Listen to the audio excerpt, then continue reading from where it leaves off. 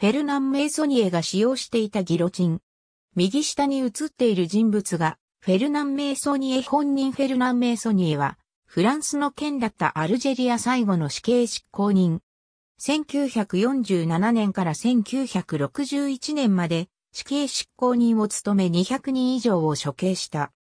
先祖代々、アルジェリアの死刑執行人を務める家系に生まれ、12歳の時には死刑執行人助手を務めていた義務教育を終えるとそのまま、1947年に父親のモーリス・メイソニエの後を継いで死刑執行人となった。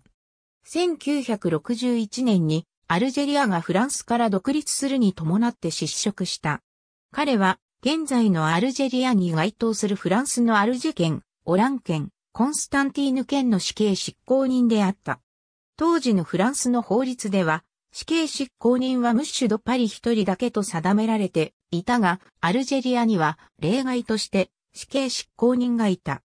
フランスの法律では、ギロチンは死刑執行人の私有財産であるため、フェルナン・メイソニエは引退後もギロチンを保有しており、引退後に何度もマスメディアの取材に応じて、ギロチンを披露している。ありがとうございます。